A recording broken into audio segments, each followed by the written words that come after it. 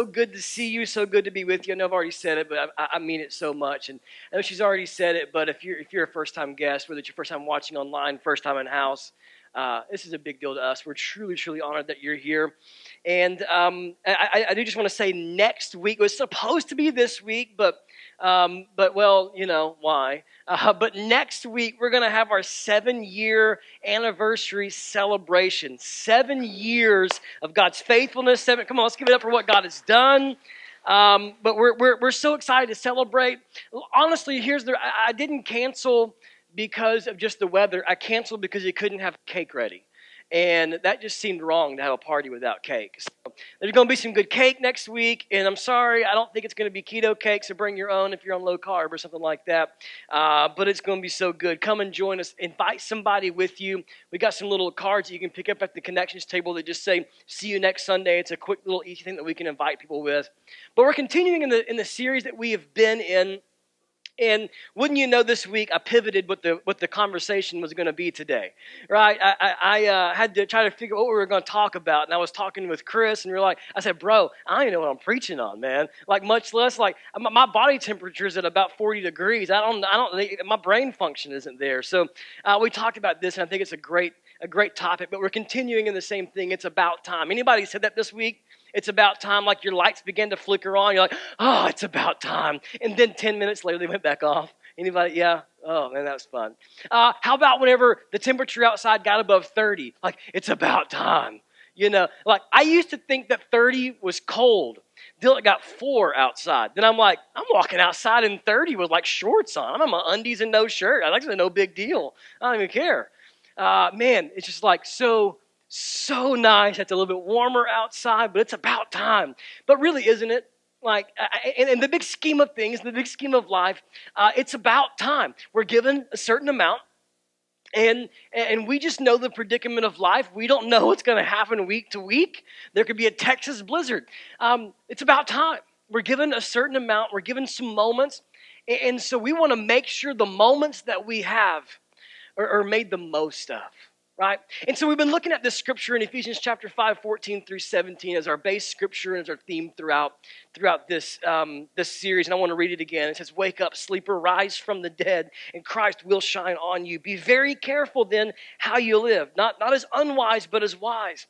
Verse 16, I've got it bolded in my notes here, making the most. So we're gonna, that's where we're going to spend the thought of today, making the most of every opportunity because the days are evil.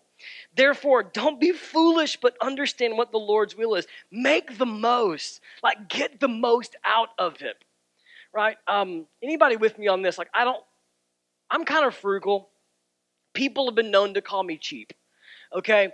Um, but I'm gonna squeeze I'm, I'm gonna squeeze like 10 cents out of two pennies if I can. You know what I mean? And, and, here's, here's where I can really see this played out in practice is that toothpaste thing, right? I'm gonna roll that baby up, I'm gonna squeeze it from the bottom to the top, and I may even cut it to scrape out.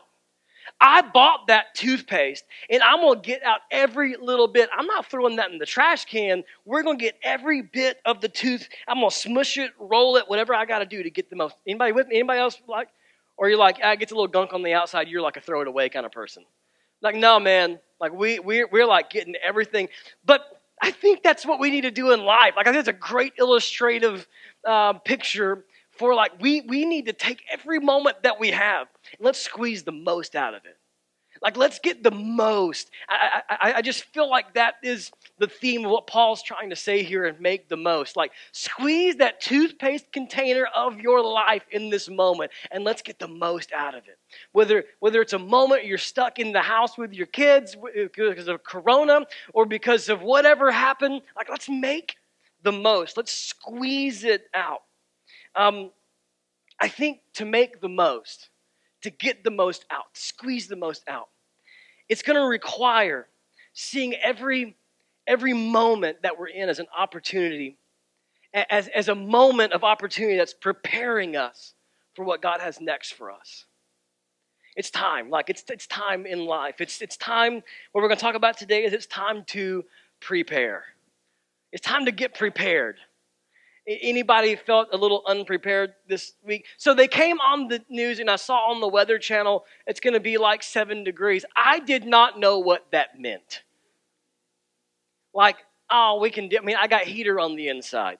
Our our, like, our house did not know what that meant. Seven degrees, four degrees. I think it wound up being like three or four. Did anybody get lower than that? It's like three or four degrees at my house. And I'm just telling you, that's not spiritual. I know they say hell is hot, but I think it might be freezing cold. I don't know. Man, it was it was tough. But it's time to prepare. I'm, I'm, I'm telling you, next time that they say a winter storm is coming, I'm going to go through it differently. Anybody with me? There are going to be some things I do differently. Uh, I'm, I'm, I'm, I'm going to make sure that we got more blankets. I'm to make sure, although I am grateful that I've got a wife that about a week out said, Hey, think we should get some firewood? Because me, I'm thinking, No, we're good. It ain't going to be that cold. The heater's to be on. Thank you for buying lots of blankets I thought were pointless.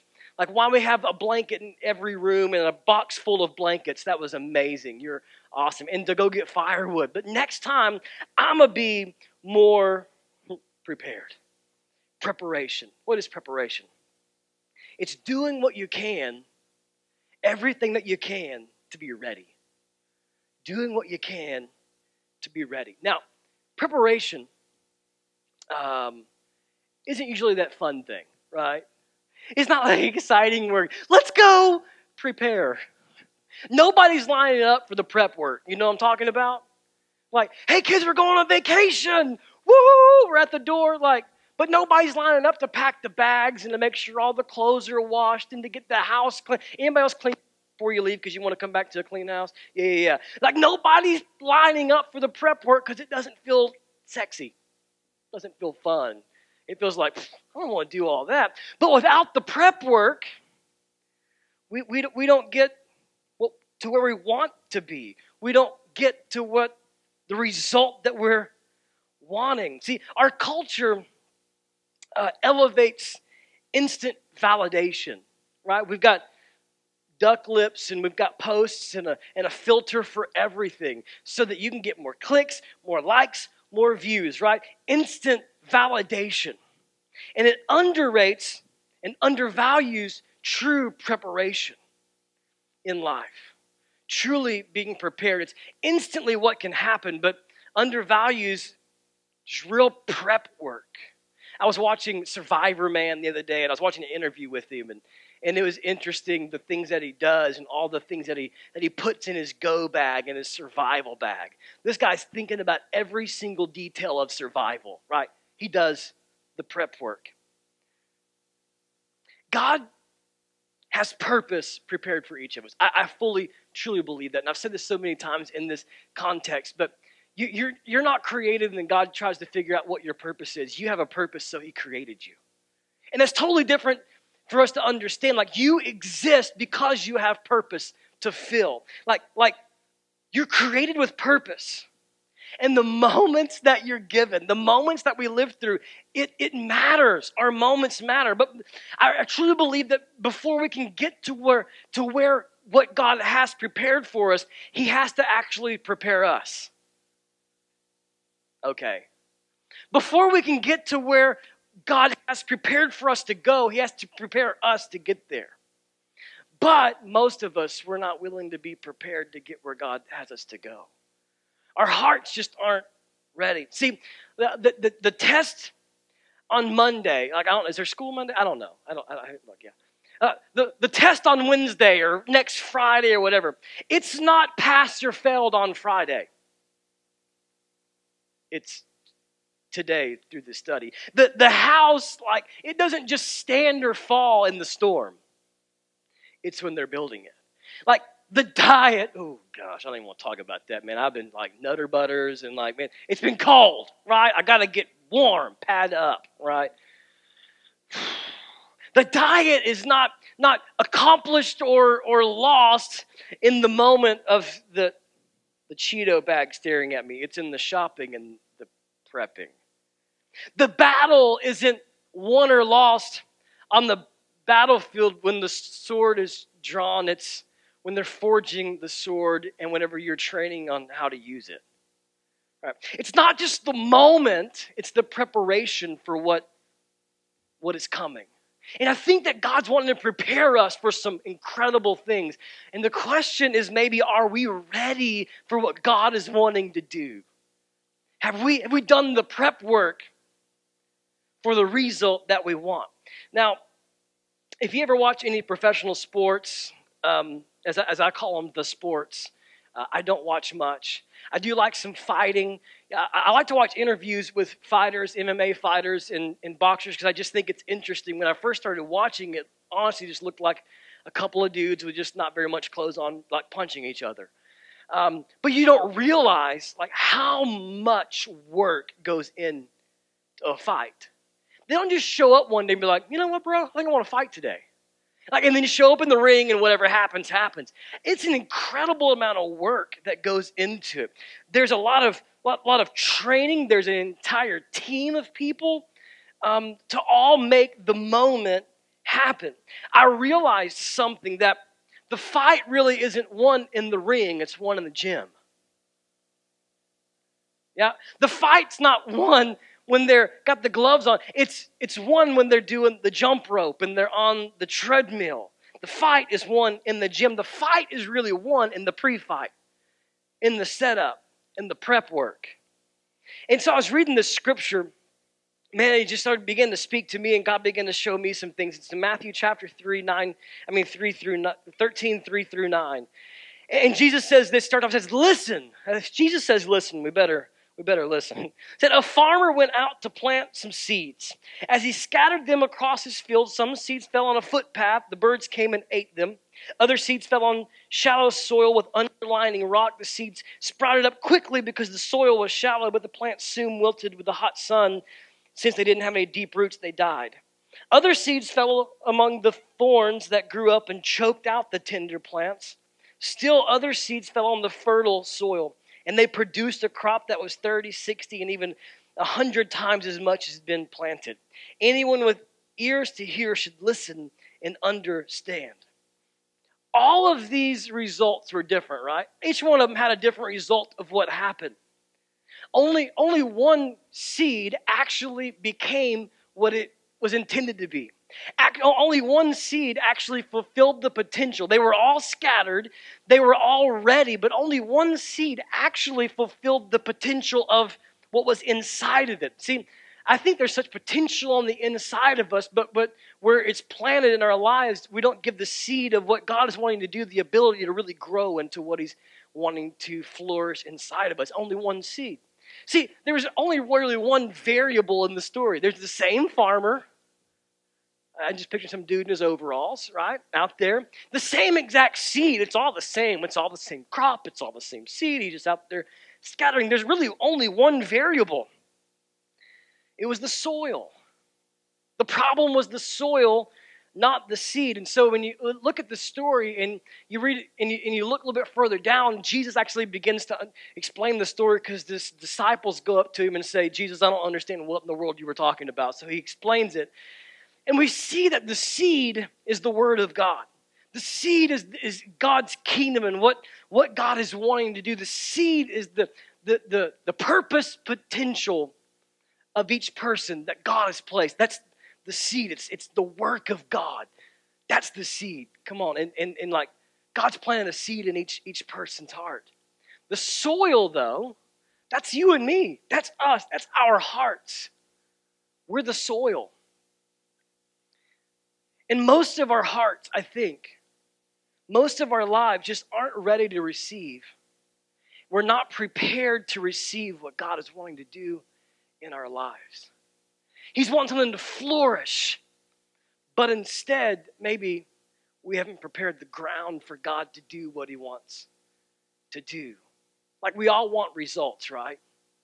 We all want the vacation without cleaning the underwear. We all want we all want the great marriage without anything else that supports that. We all want the, the happy family and the good finances, the joy filled life. We, we all want supportive friends, etc., etc. Like you, you, you fill in the blank, like you name it. We all want those things, don't we? We want the prize without the prep work. Well, I do. Maybe we won't, you won't admit it, but I would love to. That's why I go to restaurants. I don't want to chop onions. I don't want to be there at 6 a.m. getting all. I want to just go eat and let them do the dishes. You know what I'm talking about? That's why. That's really why we go. I want them to do the dishes. But like they're there when you drive by restaurants before they're open. There's cars in the parking lot and they're chopping up tomatoes and they're chopping up onions. They're getting it all ready. What's that called in your restaurant, people?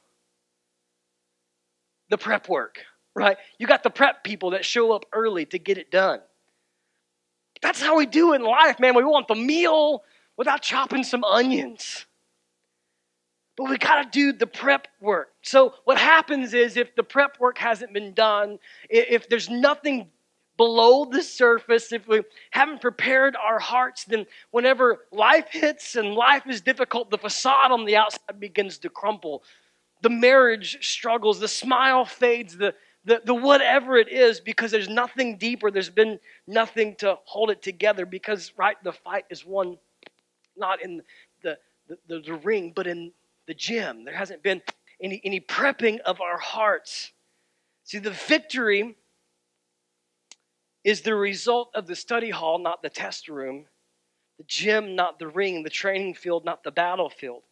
So, based on that idea, if the battle is won for what you prepared for, what you've readied yourself for, what battles in your life are you prepared to win?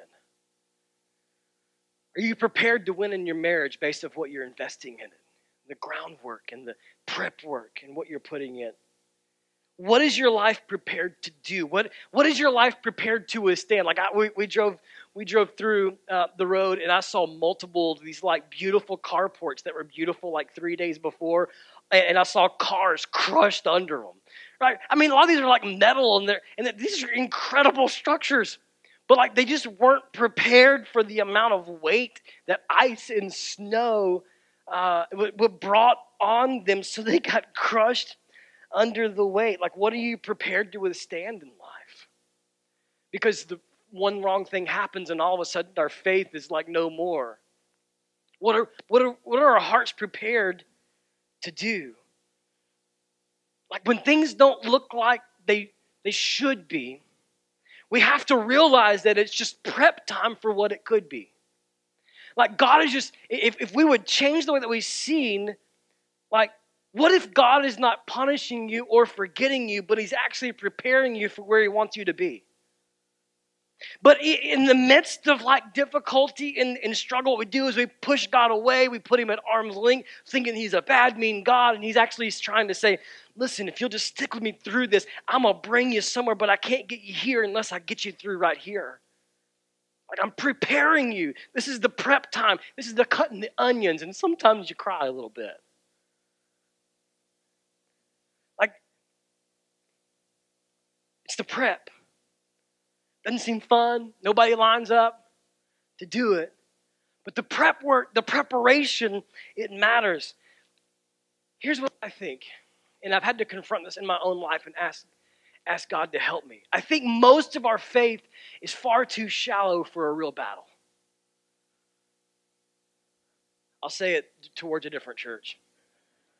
I think most of our faith is far too shallow for a real battle. That was whoever's that way. Eh, for, forgive me, whatever church is that, way. I mean, but like, oh, not us. But I, I, think that it's true the first time that it really slams and hammers, we're, we're just like, all of a sudden, God doesn't love me. But He does. I, I love this scripture in Proverbs 21 31. See, because I never want to advocate for it's like what we do and it's our work and you better prep and that's what's gonna that's what's gonna win it. It's all our trust and our faith and our hope in God. God is who wins the battle. But what we do and what we prepare in our hearts matters. Proverbs 21 31, it says, The horse is prepared for the day of battle, but the victory belongs to the Lord. What in the world? I ain't got no horse.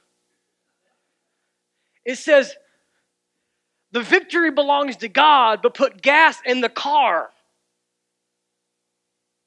right? I mean, it's like the victory ultimately is going to be God's, but make sure the saddle and the sword is on the horse. Like it's prepared for battle, but ultimately, the victory is God's. But is there some prep work that's ours? God, why are you not there? You didn't go to the gas station. It's not my fault you ran out. We blame God because we had a flat tire, but we haven't changed them in six years, and they, they, they, they look like inner tubes. And that's God's fault. Maybe there's some prep work to get the result that we are desiring, prepping, prepping. God's wanting to move in your life. I'm convinced. I'm, I'm just, I'm convinced that God is wanting to move in, a, in an awesome way this year. And this, is, this, can, this can be the greatest year of your life. I do. It can, it can be the greatest year in your marriage and your family. But too many of us haven't trusted God enough to see it come to pass. You look at all the stories in the Old Testament. Oh man, we read the results, right? Like David become king, that's awesome. All these things, but you you forget the prep work that it took in their hearts and lives to get them to the place of the result that God wanted to bring in them. The full potential of their life took David 20 years taking care of sheep when he was underappreciated and undervalued. Joseph saving an entire nation, an entire really world at that time, to be honest, took years and years of slavery and imprisonment. Who wants that? Maybe God is preparing us. Maybe God is preparing us. There, there, there's my, I, I have to show this. See, I have a shirt and a cup that says, um, basically, basically warning anything that you do and say could be used in a sermon. Uh, and that's that's so we stayed at the in-laws and we were we were getting like prepped and showered and cleaned up there because we ain't got no water yet. Now it needed to smell good for you. Um, and, and, so on on Karen's door, I don't show it yet. Um, the, the the pre-story is she's left her house and she's not here today to get the full scope of this story, but she's watching online. Hope I have permission to telling it anyways because you're not here to protest. Um, so she's walked out of her house multiple times throughout the day and looked down. She had two different shoes on. Like she said multiple times. And so what she has on her door before she leaves her house is Karen, check your shoes. I love it. So I went over the first time. I'm like, Karen, why? Why is? She's like, so I'll look down and make sure they match. And I'm like, okay. I mean, she's trying to get prepared for the day, right? She got her shoes on, but making sure they, they match. I, I, I just, I feel like we should, we should get a, a sign for our life, right? You said, Eric, check your life. Check your heart. Make sure it matches up with what God is wanting to do in your life. Karen, check your shoes. It's pretty funny. It's pretty. What's funny is she looks at that sign every day before she leaves the house. Like it's for real. Like we're good. I mean, we need to prepare the ground of our hearts so that what God is wanting to plant in your life can flourish. You got to prepare the soil of your heart so that what God is wanting to plant in your marriage can flourish. What God's wanting to plant in your influence to the people around you can flourish. But we got to prepare our hearts to see it come to pass. Come on, I, I, want God, I want the end of my story to be that 30, 60, 100 fold. Like God planted something, what He planted became something so incredible because my heart was the kind of soil that God could plant something in and actually reach the full potential of what it was meant to be. I, I think the story teaches us that too many people, three quarters if the fractions are right there, are living far below their created potential. Far below their created potential. Some couldn't flourish because the ground just wasn't ready. It's time for some prep work. It's time for some prep work. Real quick, I just got three things before we before we leave out that I want us to begin to prep. It's time to tear it up. Time to tear it up. First one said, Some seed fell on the footpath. Um, some seed was on hard soil. Man, it's been walked on, it's been trampled on. For years and years, it's been stepped on and walked to where now the ground is matted down and there's no softness for the seed to be able to go in the soil so nothing could grow out. It stayed just right on top, not received. So the birds came by and ate it up and it's gone. And I think a lot of us can be there. There's a lot of reasons that our hearts can grow hard. A lot of reasons that, I mean, and you can even look so good sometimes on the surface, but have just an incredibly hard heart. To where now that nothing that God wants to do and where God wants to bring you, nothing penetrates any deeper than the surface. And this can be hurt and pain, difficulty, our own, our own decisions, a life of sin that can, that can keep us pushing God away. And, and Jesus goes on to say, he says, it's a, it's a heart that hears but doesn't understand. That, that, that's a hard heart is one that, that hears but it doesn't understand what's being said. See, we all want the answers to our whys, don't we? We all have so many questions. Whenever we don't have all these things answered, a lot of times we just begin to doubt God and our hearts begin to grow hard. And, and you know what I've realized so many times, though, is the teacher doesn't tell you the full scope of the lesson while it's going on. Like, how many people, I'll never use math. Like you're learning that in school, and then you get older, and you're like, man, I'm sure glad I know how to do fractions, right? I knew how to say three quarters. That was so smart of me. There's four things, three didn't, three quarters. I mean, that's school, right? They didn't t- tell me that I would learn use that right here. But how many lessons are you learning that you don't know the full scope of it? And we have these questions, but because our hearts are hard, we don't allow God to teach us anything. Like, Mr. Miyagi, you're an idiot. Why in the world should I paint a fence. Why would I clean your car? He didn't realize he was prepping him to beat some dude up. You know I'm talking about. I don't care what you say, that was not an illegal kick. Anything above a certain the waist is, is was, was a point, right? I mean, I'm just saying, I'll take up for him all day long. Trying to bash him on social lately saying that the other guy was the good guy. It's not true. Mr. Miyagi, why? But that's what we do with God, right? And see, if we aren't careful, what can happen is all of our hearts can grow hard. And we can still like wear the Christian t-shirt and come to church and sit in our seat and have a hard heart and not receive anything that God's wanting us to do. And so we stay in the same place, never letting anything grow, and always complaining about why nothing grows in our life, but it grows in their life. Because our hearts have grown hard. We've kept God at a distance. And we honestly, if we just, okay, you can be honest with me and with yourself, we just don't believe God anymore. Maybe on the outside. And so what we do is we grow stale and cynical and hurtful and hardened. That describes way too many church people. too many, man. And what he's wanting to grow inside of us is just kind of blown away. Now, a hard ground can be planted, but it's got to be broken up. It's got to be tilled. It's got to be broken. It has to be softened, right? We've got to dig some things up. And so here's my prayer for you. Would, would, would, you. would you pray to God and say, God, would you soften my heart? God, are some of the areas that have been hurt that I need to forgive? God, would you forgive me? Humble yourself. Here, here's a sign of somebody with a hard heart. They want to complain about somebody else's field without working their own. We get on social media. I want to complain about your field, but not work on my own.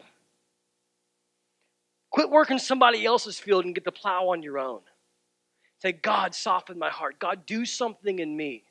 Like the scripture says, we look at the back in someone else's eye and don't realize there's this, there's this massive tree sticking out of ours and say, God, would, would Step outside of yourself and look say, what, what, what about, what do I need to fix? Let God work in your life. Tear up that hardness. Second thing, it's time to get to the bottom.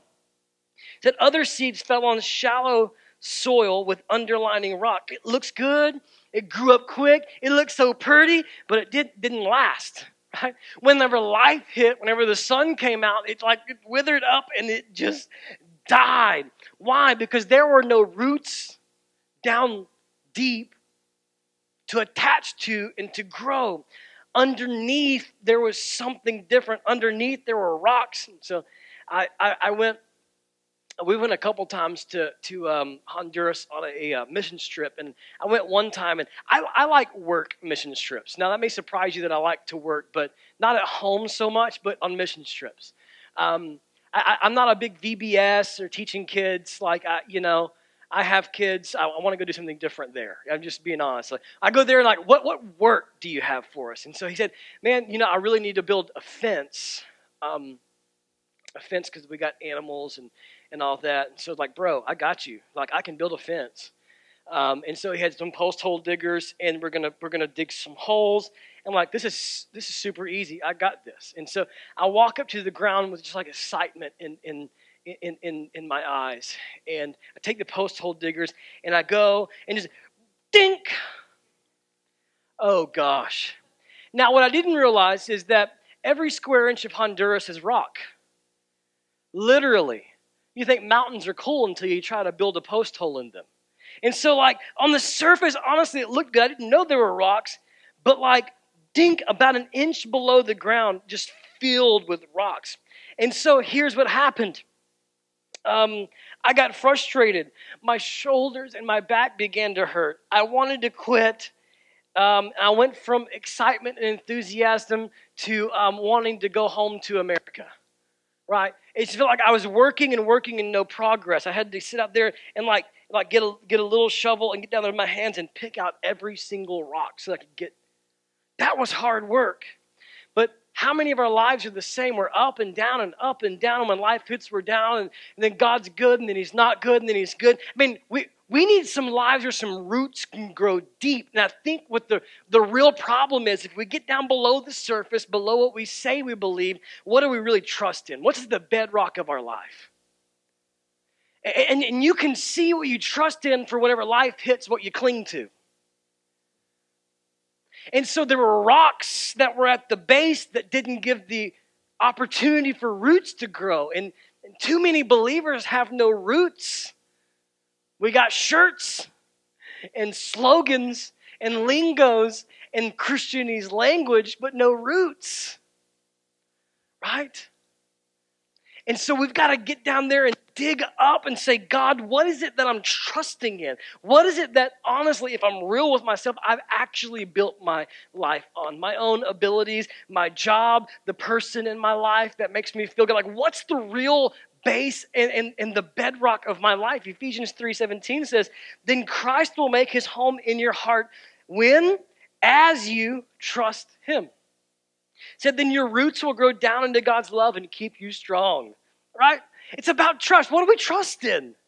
That's where our that's, that's what's gonna our roots are gonna be. And so the seed looked so good, it was pretty, right? It's like, oh, look at that pretty flower. Oh, why is it dead? Right. There's no roots. No roots.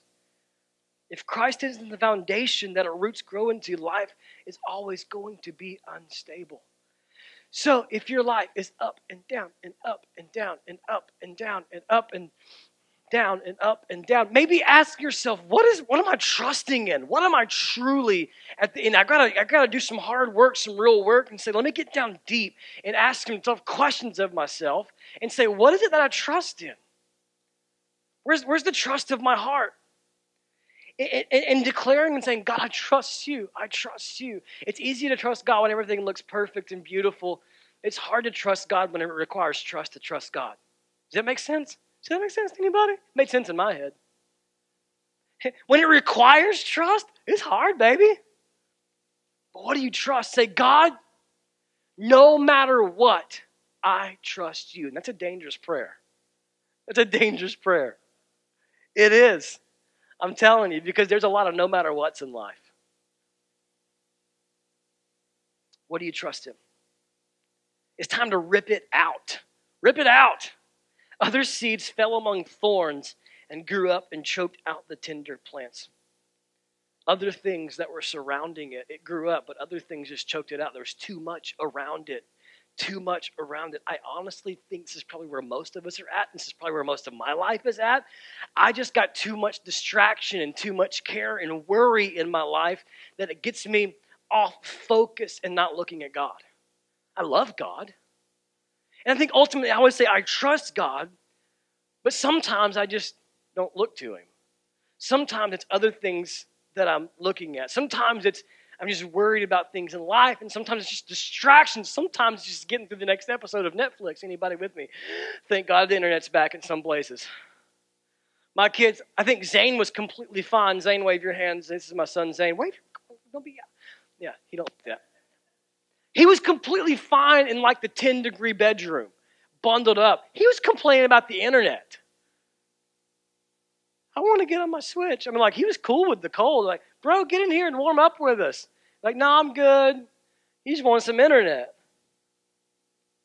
Man, but it can be so distracting, right? And there can be so many things in life that we've got to get down there and we got to say, God, what is it that's getting my eyes and my focus off you? And we got to be, we got to be determined to pull it out and to say, God, you've got to be number one. It's so distract, it's so easy to get distracted and off purpose, off purpose. We need to put in the work. See, I had a friend that had a beautiful lawn, beautiful lawn. Oh man, the kind you want to take your shoes off and rub your toes in. It's beautiful. I mean, just soft and perfect grass. Around him, their other lawns were, were not that great. In mine, it just looked like grass if you mowed the weeds. You know what I'm talking about? Get out there and mow the weeds down. They look looks pretty good, but you got stickers. Don't actually walk in my yard without shoes on. It's gonna hurt. And so I asked him. I said, "Bro, I wish I could have your lawn, man. That's awesome. Did you just moved into the perfect place?" He said, "No, man." He said, "I worked it." He said, I picked out by hand every sticker. Like, dude, you're crazy. Like, I, I pulled up every weed. Every time there's a weed, like he he said, you don't just go over a sticker with your lawnmower, it spreads it more. He said, every single one, whenever there was a sticker, I would pull it out and throw it away. And I said, nah, bro, I'm good with weeds and stickers. I'm good with my ugly lawn.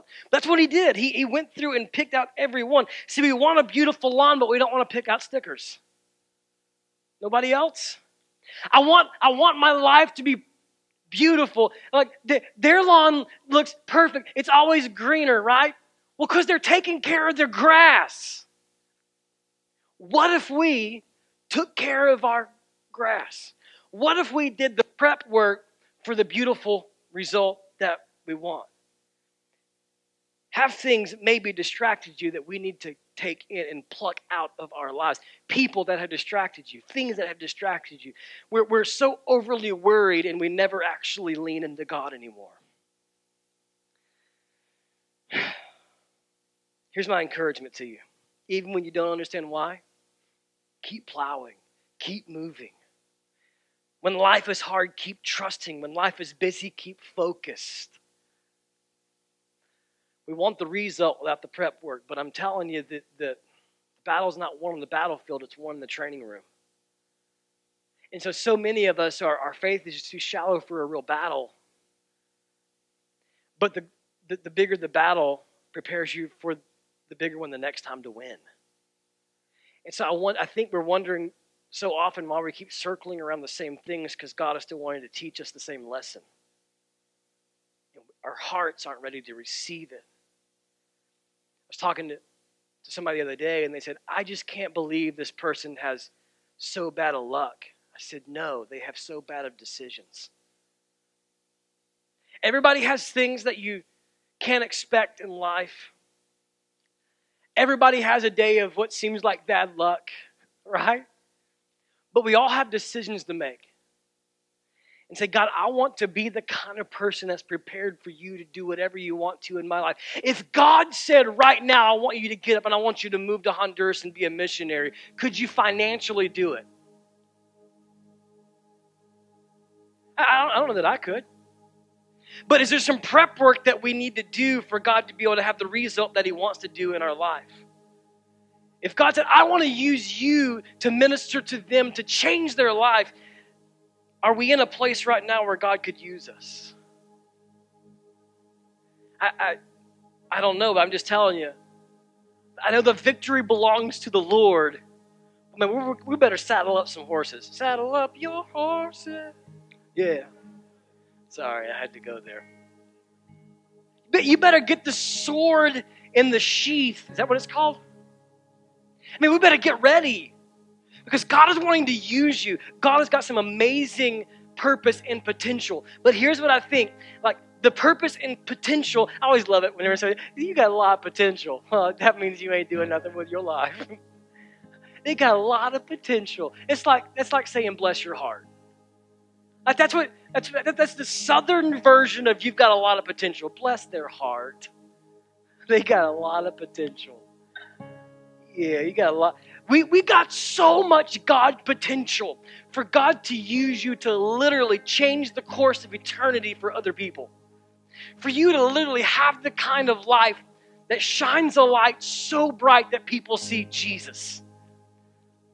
We have that kind of purpose and potential. But I wonder if because the soil, not the seed, man, he's he's planted in each of us exactly what he has for us, but maybe the, the heart's not ready to receive what he wants to do.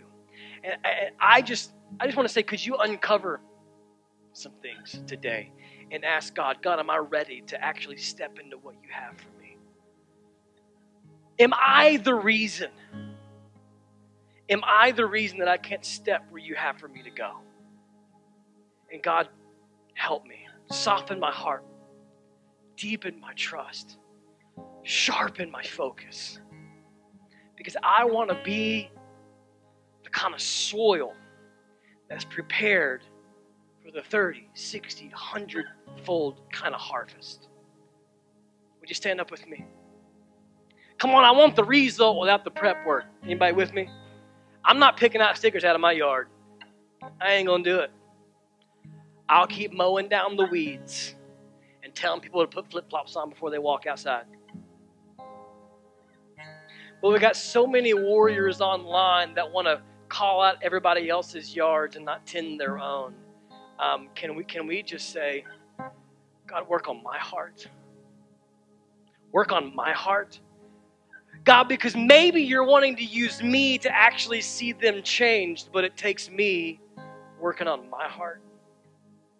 Prepare me, God. Prepare me for your purpose. What if David would have said, No, nah, I'm not going back out to tend any sheep anymore? You know what? He wouldn't have been king. What if Joseph would have said, I'm, I'm not going to take the place that I'm at I was put into servitude. I was put into prison. But everywhere he went, he said, he, he just he saw God there and just he just worked the hardest that he could and did everything that he could with it. If he wouldn't have done that, he wouldn't have been in the position to be able to change the course of a nation. I'm wondering what God is wanting to use us for, but we're so hardened, we're so trusting in other people, other things, we're, we're so out of focus that God's like, ah, I have this great purpose for you. Like, soften my heart, deepen my trust in you, oh God, and sharpen my focus. Because I want to be that kind of soil. Let me pray for you. Father, it's time that we prepare. God, I think if anything's taught us something this week, is that preparation is important we weren't prepared for the storm that came in. Our area is not, was not ready for that kinds of stuff. But God, let us look at our lives spiritually and say, God, let us be ready for what you want to do. God, there's people in here today that have hard hearts, that have been hurt, that it feels like life is trampled on them. And so now, if they're honest, they're actually looking at you and say, I don't even know if I believe in you anymore. God, I pray that today would be the day they, they, they say, God, open my heart. Dig down deep. God, speak to them. God, there's people who we've looked good on the outside, but deep on the inside, we haven't really trusted you. And so, in a season, we look awesome and we trust you, and the next season, we've abandoned you. God, help us to have full trust that you are our God. You are our provider. You're our provision. You're our sustainer. And everything begins and ends in you. God, and we got someone here that, man, we just, God, we've gotten distracted. We made life about what it's not. We've worried about things that, in the big scope of things, probably don't even matter. We've not trusted you. So help us to sharpen our focus and get our eyes back on you, oh God. God, and I pray that as we trust, you grow our roots down deep. And come whatever storm, come whatever wind, come whatever battle, we are victorious in the name of Jesus. Because we want the result, but we're going to do the prep work. Prepare our hearts, God. God, prepare our hearts. As your heads are bowed, I, the main thing that you need to do, the first step you've got to do is prepare for eternity. There's scripture that tells us to be ready. One day, there will be a last breath for you. And one day, scripture tells us that Jesus is coming back. We don't know the time or the hour, we don't know when our moment's up. But we can live prepared. We can live a life that's ready to say, it doesn't matter when it comes because I'm ready right now. I'm going to live my life to make a difference. I'm going to live my life on purpose. And your purpose begins in giving your life to Jesus.